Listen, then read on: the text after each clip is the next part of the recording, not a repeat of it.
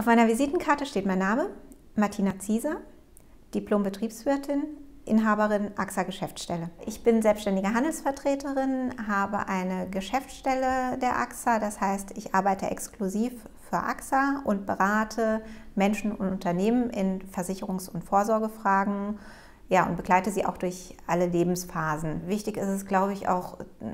genau zuzuhören ähm, und ja, herauszufinden und auch zu spüren, was ist wichtig für den Menschen, der einem gegenüber sitzt bin teilweise beim Kunden vor Ort, bin teilweise, ähm, kommen die Kunden auch zu mir, führe die Gespräche mit den Kunden, bereite meine Termine nach und habe natürlich auch noch sonstige Sachen, sonstige Aufgaben der Unternehmensführung zu erledigen.